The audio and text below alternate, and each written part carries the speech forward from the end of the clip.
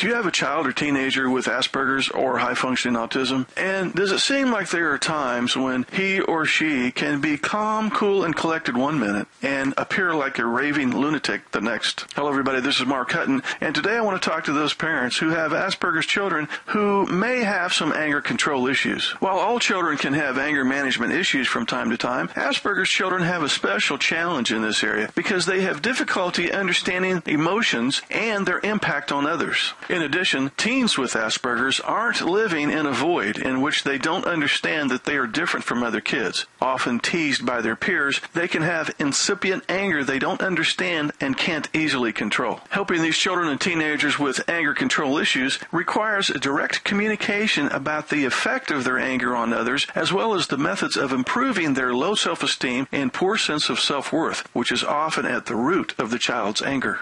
Anger that is acted out badly needs to be treated like any other unwanted behavior. Some form of reasonable consequence directed at getting the point across that the behavior is wrong needs to be combined with a pragmatic discussion of the meaning behind the anger and other ways to control the anger. Also keep in mind that an effective consequence for an Asperger's child will be much different than an effective consequence for a typical child. If the anger seems to be a part of your child's frustration over how he's being treated by others or from depressive feelings, feelings, finding better avenues to discuss what is really going on can help him deal with the issues without using anger as an outlet. Most Asperger's children are of greater than average intelligence and have the resources to understand the relationship between their anger and the underlying social issues they're dealing with. In situations where the anger seems to be an ongoing and overwhelming issue, families should not hesitate to speak with a family therapist or other psychologist for help.